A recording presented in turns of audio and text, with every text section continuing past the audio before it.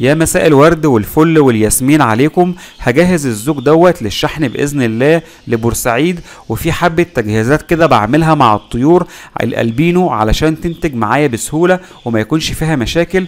أول حاجة طبعا الديل يكون طويل زي ما أنتم شايفين كده وجسم العصفور ما شاء الله صحته كويسة. أنا قصدت إن أنا أوريكم الحتة ديت تحديدا عشان أوريكم إن صوابع العصفور كويسة وحاكم قبضته والمجمع بتاعه نظيف والريش بتاعه طويل جدا. جايب من أول السقف بتاع القفص لحد النهاية تحت بتاعة القفص ومعدي كمان ما شاء الله. فدي الحاجات الجميلة اللي الواحد بيكون حريص إن هو يراجع عليها أثناء الشحن. الضوافر تكون كويسة القدم تكون سليمة الأربع صوابع مظبوطين ريش العصفور كامل مفيش فيه أي مشاكل. طول الريش بتاع الديل بيساعدني في تحديد السن بتاع العصفور. المعافرة اللي العصفور عمال بيعملها معايا دي بتطمني إن صحة العصفور كويسة وإن أنا أقدر أعتمد عليه وأفرخ منه بإذن الله. أهم حاجة عندي في تجهيز الطيور للإنتاج إن أنا ما استعجلش على موضوع الفرخ وأدي للطير حقه في إن هو ياكل كويس وسنه يكون مناسب للتزاوج والإنتاج. أنسب سن أنا بشغل فيه الكوكتيل من عمر عشر شهور لسنة. ولما بيتأخر معايا عصفور لعمر سنة بيبقى يعني بالنسبة لي أحسن كمان عشان خاطر الإنتاجية اللي بتطلع بتكون حجمها أكبر وأفضل بكتير.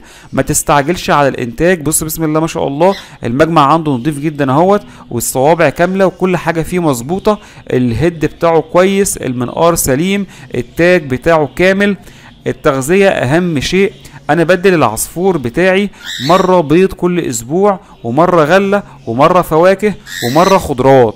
الاستمرارية في تقديم الأكل دوت على مدار العشر شهور بتوع تغذية العصفور لحد وقت فرخه أو وقت بيعه بيخلي العصفور إنتاجه سهل جدا. لو تلاحظوا كده إن طول الديل قد طول جسم العصفور فده كده معناه إن الذكر أو الفرد اللي في إيدي ده عمره تخطى السنة خلاص وجاهز للإنتاج بإذن الله.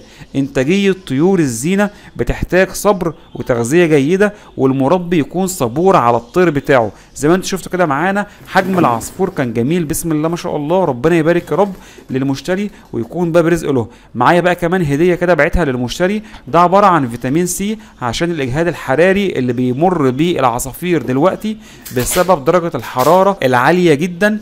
الحرارة دلوقتي وموسم الصيف اللي إحنا فيه بيخلي العصفور منهك جسديا فما بيقدرش يقاوم الإجهاد ده. فأنت لازم تعوضه بفيتامين سي.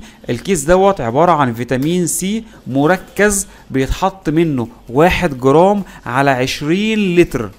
يعني على لتر المية اللي بتقدمه للعصفور هتحط واحد من العشرة من الجرام لأن تركيز أو واحد من العشرة إيه؟ بيتهيألي كمان أقل من واحد من عشرة التركيز بتاع الدواء دوت ممتاز وكويس جدا. أنا مقدمه هدية للمشتري عشان خاطر يحمي طيوره. إن شاء الله يكون موسم سعيد عليه. ربنا يكتب له الخير بإذن الله ويرزق كل واحد مشتاق بكل ما يتمناه. في رعاية الله.